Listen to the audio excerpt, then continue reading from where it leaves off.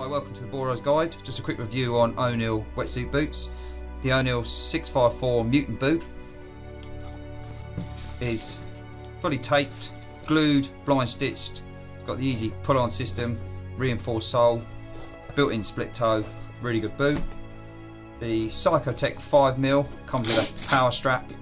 It has Techno Butter lining, again reinforced sole, pull on system. It's exactly the same in the 7mm, obviously just a warmer, thicker version. Really good all round O'Neill boots.